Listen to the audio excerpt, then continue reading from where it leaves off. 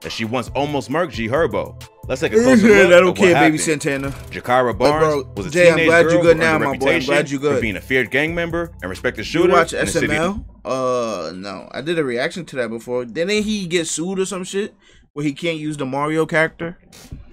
Chicago. She was exposed to gun violence at a young age when her father and brother you know were killed. No. She later moved to the Jarl City neighborhood where she started getting cool with the GDs who lived there. Okay. One of those GDs was Tooka, who was from the STL EBT set and lived in the area. KI and Tooka formed a close relationship, and she would start getting close with other dudes in the neighborhood from Jarl City and STL EBT. So, when Tooka was killed in January 2011, KI was heartbroken. But this only made her turn up and go harder in the streets.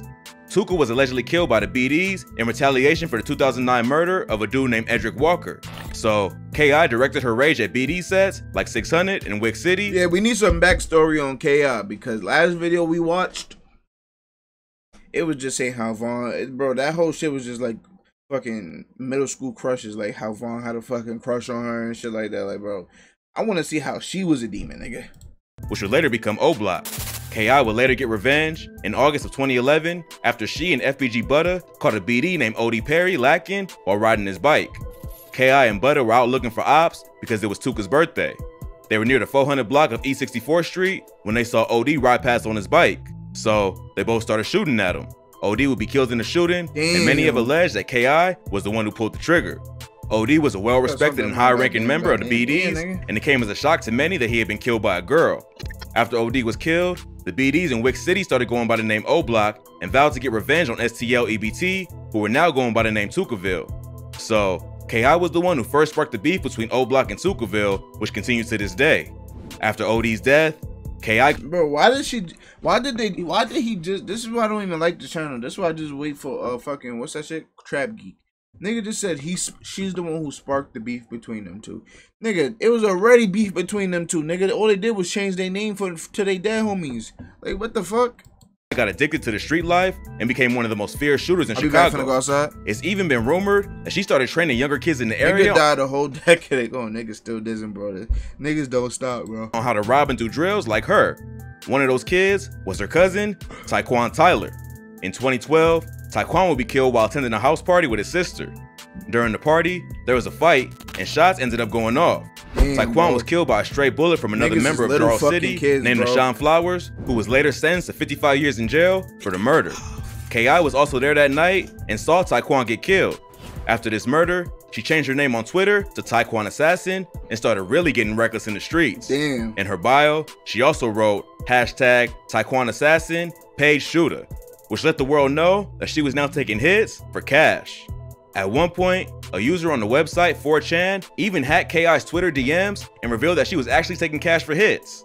God One of these messages Damn, nigga. God damn, social media be taking y'all niggas to jail. seem to suggest that she almost accepted $10,000 to take What out G help Herbo. The DM exchange shows a man whose face had been edited out holding a stack of money to his ear. KI asks him, when you coming When you come in with that paperwork, L, when you coming with that paperwork, I'm finna be in the shot this weekend. We gonna link up. I'm gonna put money on all them fuck niggas. Okay, cool. Hit me up. I don't fuck around, fam. No, you heard about them twins. Hell yeah, y'all motherfuckers made O Block took OD out the map. Delete this shit out your DM. Police on my ass, bitch. But you ain't deleted. in with the paperwork. He replies, I'm finna be in the Chi this weekend. We gonna link up. I'm gonna put money on all them. So the person hiring the hit wasn't even from Chicago, which is suspicious from the start. The conversation continues with KI saying, okay, Alright, Fuzz, I got you. I'm gonna tap your line when I'm in town. Need that nigga gone. Alright, Fuzz. Like, bro, don't Fuzz me, police. Okay, cool. Hit me up. I don't fuck around, fam. 2014, No, isn't that when Kill Shit came out? Yo, bro, imagine they really took Herbo off. you heard about them twins. The dude responds by saying, Hell yeah, y'all motherfuckers made O Block, took OD off the map. So clearly, the dude ordering the hit knows about KI's reputation and can tell that she's serious about the hit. After that, KI gets a little sketched out and tells the dude to delete the DMs because the cops are onto her. He tells her it's all good and he'll hit her line when he's in the city. That's when KI drops the bombshell and says, 10k for Lil Herb up front. So KI was really agreeing Damn, to take 10k for Lil Herb.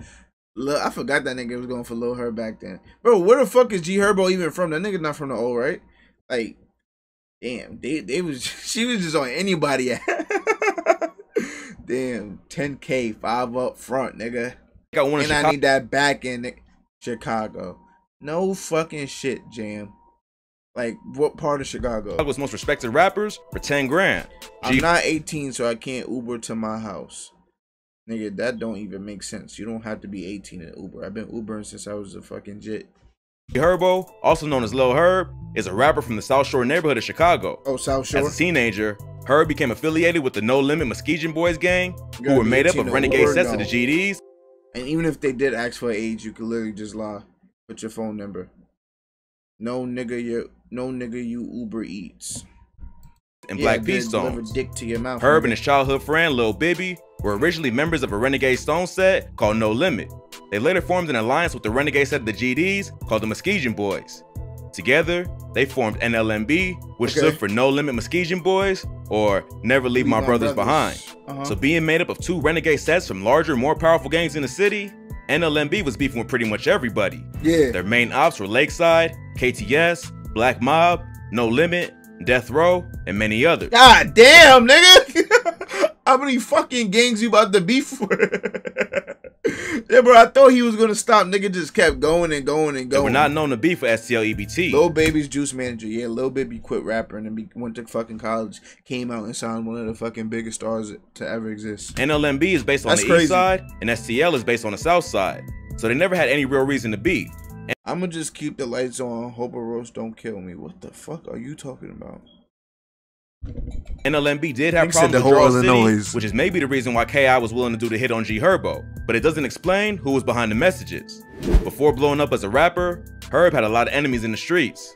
His main beef Nah, was why G- he just shot Before back blowing up like as a this? rapper, Herb had a lot of enemies Nah, Herb just be looking dumb funny, bro. like, why he shot back like that? you know this nigga miss every shot. Y'all seen the picture of this nigga throwing the baseball? What? Bro, I ain't gonna lie. Come on, bro. Come on, bro. I know y'all seen the shit of G Herbo throwing the baseball. Come on.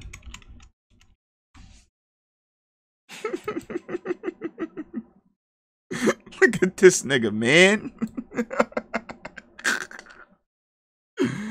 bro, this is not a real person, bro. This is not a real person.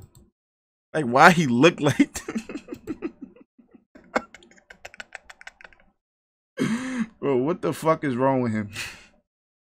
enemies in the Damn, streets. This nigga's sped, His bro. main beef was with a GD set called KTS, which had two popular rappers, KTS Vaughn and KTS Dre. The beef between NLMB and KTS goes way back to 2008 with the murder of a dude named Lil Pez. Lil Pez was affiliated with members of KTS, and he was allegedly killed by a member of Spez NLMB, so they've been at war ever since. The dude behind the hit may have been affiliated with one of Herb's ops, like KTS.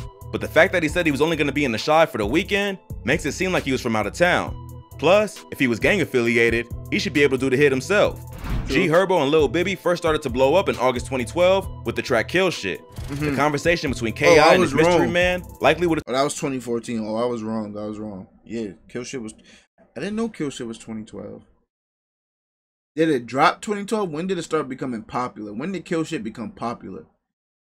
I probably heard it in 2013. Taking place right around the time that Herb was building a buzz in the music industry. So maybe the person that beefed with Herb for reasons that had nothing to do with the gang and decided to hit up one of Chicago's most famous shooters song. to handle the problem. Another popular theory is that the guy was just trolling, but KI was dead serious. Or maybe he was serious and just didn't have the 10 grand KI was charging. The hit clearly never took place because G Herbo was still alive. There are also a few other rumors to explain why KI never went through with the hit.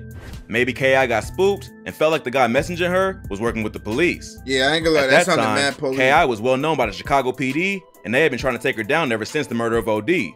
But she was smart with how she moved, and they were never able to get enough Bro, evidence she wasn't smart about nothing, nigga. She literally got all that shit in her fucking social media. to convict her of any crimes. Maybe her instincts told her that this dude was gonna get her caught up in the case and decided not to risk it. Another rumor is that the dude backed out after feeling like it may be a setup. KI was known to rob people, so it wouldn't be surprising if she decided to convince this dude that she was gonna do the hit for 10k, only to have the boys from STL waiting to take his cash and run. Or maybe the plan was still in motion when KI was killed. On April 10, 2014, KI was on the way to a friend's house for lunch with FBG Butter and another friend when a shooter in a gray hoodie came up and started letting off shots. KI had recently revealed her location on social media, which turned out to be a big mistake. Turned out that was Von, nigga. like, you know what's crazy? These shits is not even rumors. When it comes to these niggas, it's not even rumors. Like, it's already been confirmed that, like, it's it's these niggas, bro. Like, they did it. I let her dominate me. I don't think you'd have a choice. Chief Keef's cousin Blood Money was recently murdered, and rumors were going around that KI was the shooter. God. So, when she revealed her location, the BDs decided to get revenge. KI was shot nine times in the neck, jaw, and chest, and was later pronounced dead at just 17 years old. The rumors are that it was a group from O Block who planned the hit, and it was King Von who fired the kill shot. Chicago police later leaked paperwork that confirmed Von was the primary suspect in the investigation, but the DA refused to take the case due to lack of evidence. In just a few short years, KI earned a reputation as one of the most respected gang members in the city. She was so well known that random dudes from outside of the city were willing to pay her to perform hits on famous rappers. It's still not clear who wanted G Herbo dead. It's also not clear if KI would have just finessed the dude or would have actually taken out her. But it does prove how influential she was in the streets of Chicago and how deadly she was as well. Who knows what would have happened if KI actually went through with it and took out G Herbo? It may have caused a war between STL and NLMB, and fans would have never gotten the chance to see the rapper reach his full potential. Luckily, the murder plot never made it past the DMs, and This Herb was able to make it out of the streets before he And I'm a fed for reacting to it and posting it on my reaction channel. Count my blessings on one hand, but I'm grateful. When I make it home, look to the sky and I say thank you. I peeked the snakes up in the grass, I couldn't play cool. If they quit the up and leave, nigga, they was meant to.